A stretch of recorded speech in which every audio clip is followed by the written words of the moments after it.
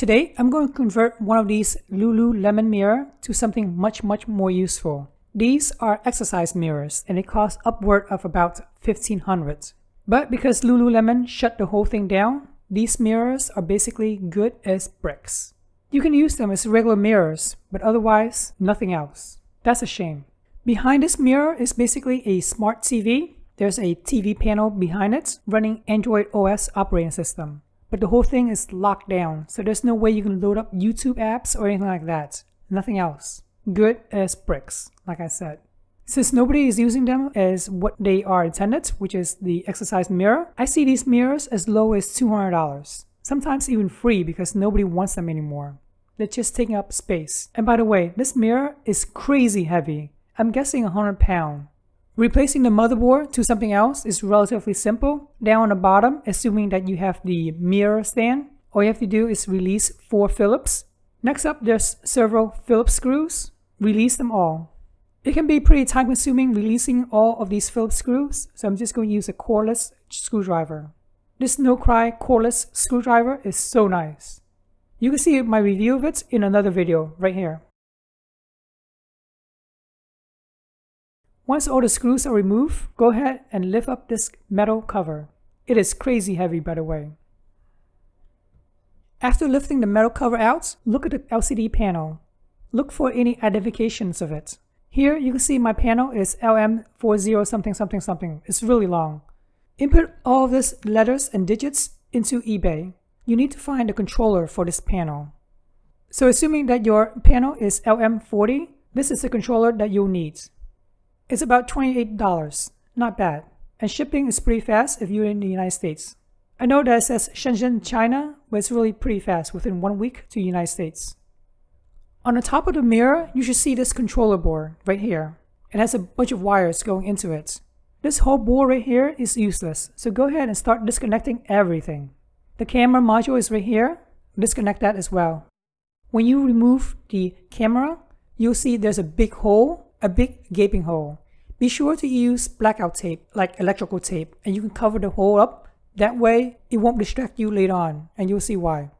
So yeah, this whole controller board area is pretty much useless. Here's a quick overview of all of these cables and functionalities. This is the power supply cable. You'll be connecting this power supply cable right here. It has a loop. It will go into the power supply of the TV. This huge cable bundle right here will be going straight into the panel for providing backlight. It replaces the gray cable that you saw earlier. Here's a second cable that will go into the power supply of the TV. This back cable right here will be going into the back of the TV. We really don't need this extension board. You can disconnect it right here if you want, and I'll show you how to deal with it later on. Here's the gray cable that we disconnected. This provides power to the backlights of the TV. You no longer need that, so go ahead and remove that. Insert this new cable going in. It only fits one way, so don't try to go the other way. After inserting the power supply for the backlights, go ahead and put the metal cover back in. Four Phillips screws is holding this thing in place. Next up, let's connect the video cable from the new board into this TV panel. Again, it only goes one way, so don't try to force it to go another way. I know that the colors and the orientation of this cable does not match the old cable, but it's okay. It will work.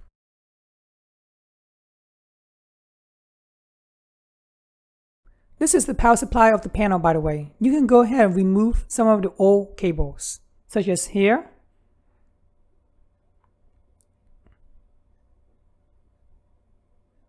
This bottom cable right here is hot glue in, but if you spend some time, you should be able to lift the whole thing up.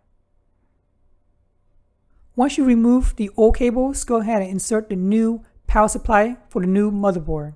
Be sure of polarity, as you can see here, the black is on top, red is on the bottom.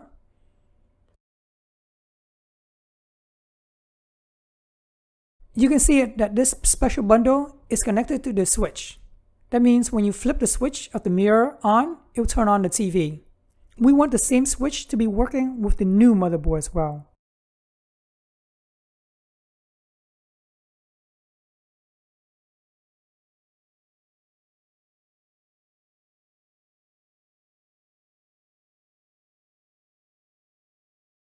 you want the loop to be oriented downward, as seen here.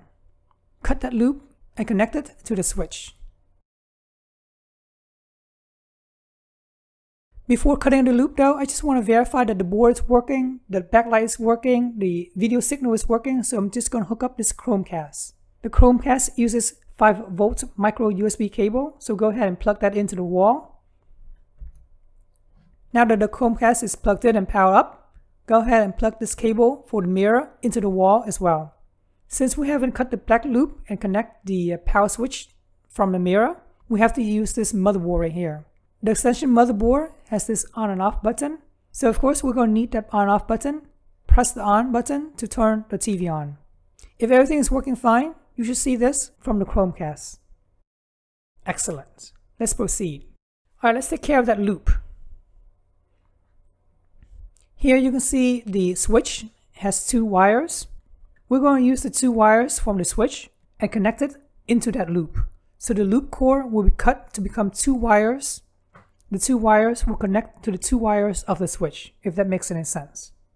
In this video, you can clearly see that the two wires right now is joining to this other two wires that was the loop. To use the speakers is relatively simple. The red board is the amplifier, by the way. In another video, I'm going to show you how to use it with the amplifier, but for now, for simplicity, we're just going to use it as is, straight into the new motherboard. The red wire is positive, the black wire is negative. In the back of the motherboard, you can clearly see all of the speakers connection. There's left minus, left positive, right positive, right minus. I solder all of the connections down to secure it. And now we can connect it to the speakers that's uh, in the mirror. Be careful with polarity. I honestly don't think it matters, but just in case. The sound is not crystal clear and super loud without the amplifier, but it's good enough for now, assuming that you're just going to use this as a smart mirror. And that's it for now. We will continue with part 2 in another video on how to get a Raspberry Pi in to make it work as a smart mirror, or you can always connect a laptop, a portable laptop, rip out the whole thing, insert it via the HDMI input to get YouTube up and running again. Hopefully this video helps you on how to rip out the old controller, insert the new controller, and connect everything back in. I really appreciate you guys subscribing to my channel, liking this video, and thanks for watching.